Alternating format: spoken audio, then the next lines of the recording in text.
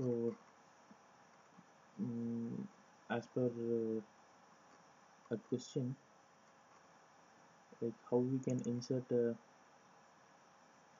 date in the plan start um, made a short video.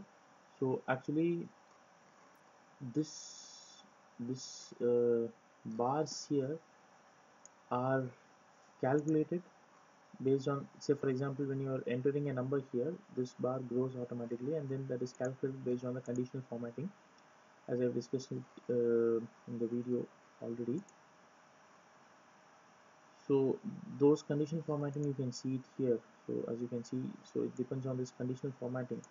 When you just click on something so for example this color says it's percentage completed so this color refers to percentage completed and then you can click on the cell and then see the actual formatting of the cell what they have used.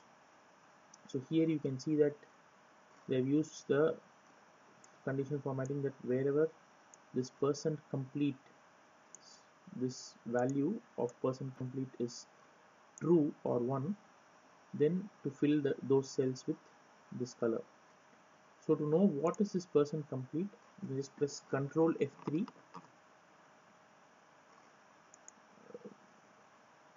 control F3 after closing this of course control F3 to open this name manager.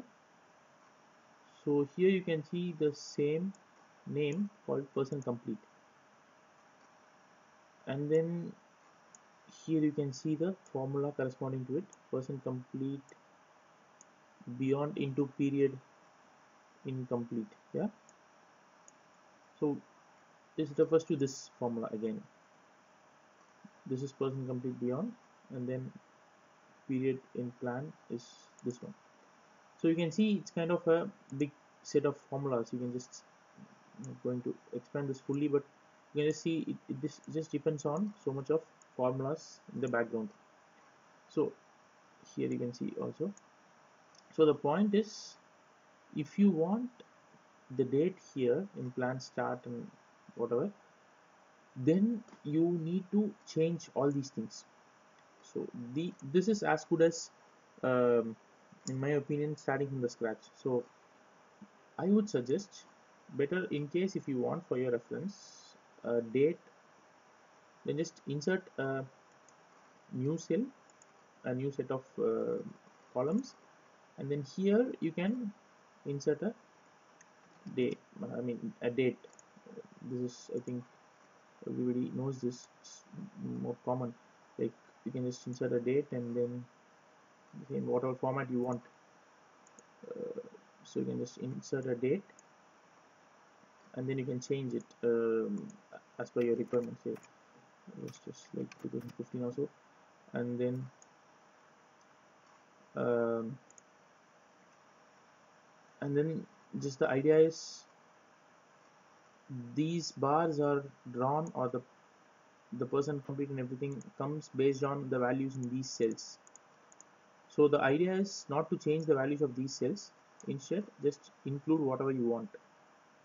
And um, when you're right clicking and uh, inserting inserting a new row here then all the form uh, all the formulas related to these rows will be automatically uh, shifted. So you, we need not manually do anything. Say for example previously this was cell C. This this plan start was uh, under this column C but now it is under column D. But that is not going to create any problem because once you are uh, doing this inserting a new cell uh, inserting a new column in between then all the other things will be automatically shifted. All the formulas related to it will be automatically uh, auto corrected so it's not a problem. So here you can put the date uh, and then say for example if you're starting on the next day similarly you can with the same formatting you can insert the date here also say for for for explanation purpose now I just drag it. So here you can see it's Saturday. Yeah. So instead of a number just a number here the only change you can do is like here you can enter the formula uh, it's not a it's kind of simple. Uh, since all the all the all the formats here are dates all the formats in column C are dates um, date format you can just do a normal arithmetic. Say this value minus the first value is always going to be the start uh, start date probably. So let's do that and then it still remains true. You get the value actually. So now whatever uh, date you enter here it, it is going to be based on this first value reference. So if you're entering some other date here say instead of 3rd January I'm just starting it on 10th January then I get 9 here automatically and then it just gets shifted. Yeah? So this is a small kind of manipulation also. I think it's my suggestion that you can use this. Or else you have to uh, I also don't know uh, I mean I also don't know the formula uh, I've not gone through all the formulas under each and every conditional formatting set since it's a temple uh, template already available. So say for example I do not know by heart also all the formulas behind this each and every formatting. Yeah? So instead of uh, probing it too much and then changing each and everything it's better to for your reference better to do this. And then in case if you do not want to see this then I think it's again simple kind of you can just hide it or maybe make it smaller as possible. And then that should be fine. Yeah. Thanks